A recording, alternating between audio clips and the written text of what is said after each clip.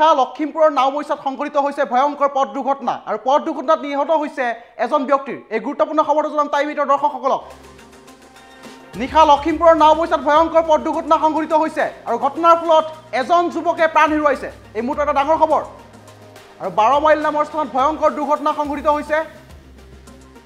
আৰু সবিশেষ জনাইছোঁ টাইম মিটৰ দৰ্শকসকলক। আৰু থিতা থিতাতে নিহত হৈছে নিকু নন্দী নামৰ এজন যুৱক। আৰু ৰখাই থোৱা ট্ৰাকত খুন্দা মৰাৰ পিছতে নিহত হৈছে নিকু নন্দী। আৰু এই সমগ্ৰ ঘটনা সংঘটিত হৈছে বাৰ মাইলত আৰু আঠাইছ বছৰীয়া নিকু নন্দীৰ মৃত্যুত অঞ্চলজুৰি শোকৰ চাহ দেখিবলৈ পোৱা গৈছে। এক ভয়ংকৰ পথ দুৰ্ঘটনাই কঁপাই গৈছে লখিমপুৰৰ নাওবৈচা আৰু লালুক আদৰ্শ চিকিৎসালয়লৈ নিয়া হৈছিল যদিও আৰু নিয়া হয় নিকু নন্দীৰ মৃতদেহ। আমি জনাই আছোঁ নিশা লখিমপুৰৰ নাওবৈচাত ভয়ংকৰ পথ দুৰ্ঘটনা সংঘটিত হৈছে আৰু বাৰ মাইলত সংঘটিত হৈছে এই ভয়ংকৰ পথ দুৰ্ঘটনা। আৰু দুৰ্ঘটনাৰ ফলত থিতাতে নিহত হৈছে নিকু নন্দী নামৰ এজন যুৱকৰ। আৰু ৰখাই থোৱা ট্ৰাকত খুন্দা মৰাৰ পিছতে এই ভয়ংকৰ পথ দুৰ্ঘটনা সংঘটিত হৈছে। আৰু আঠাইছ বছৰীয়া নিকু নন্দীৰ মৃত্যুত অঞ্চলজুৰি শোকৰ চাহ দেখিবলৈ পোৱা গৈছে। লালুক আদৰ্শ চিকিৎসালয়লৈ নিয়া হৈছিল নিকু নন্দীৰ মৃতদেহ।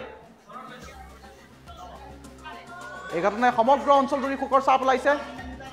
আৰু এই সমগ্ৰ ঘটনা সংঘটিত হৈছে বাৰ মাইলত।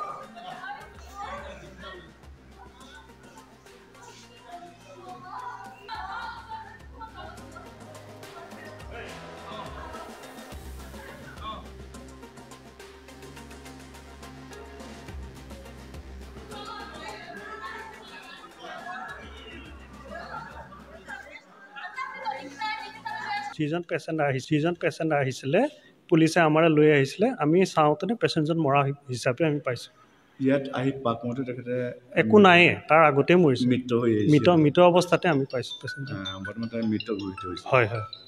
মোৰ ফ্ৰেণ্ড হয়।